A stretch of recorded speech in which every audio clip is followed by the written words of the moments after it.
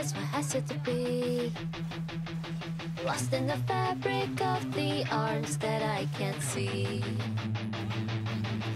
A simple mold that I told myself to erase.